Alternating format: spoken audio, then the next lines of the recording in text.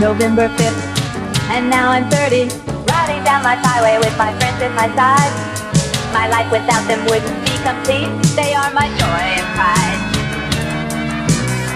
I've learned a lot from all my good friends about turning 30 on the street that stop.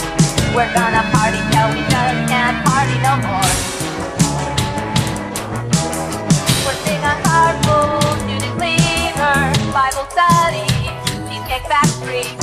Talarico, Auntie Barbara's, Joyce's party, lots of tennis, baby showers, birthday parties, Valentino, church on Sundays.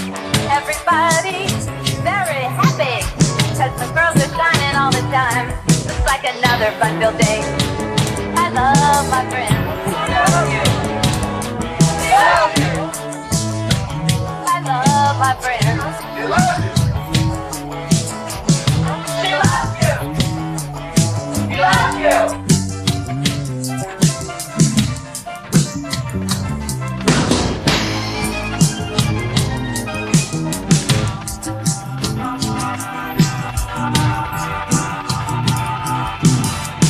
my friends. Look at those faces. Look at how they all go to such deep places. Look at these girls. There's nothing like them nowhere.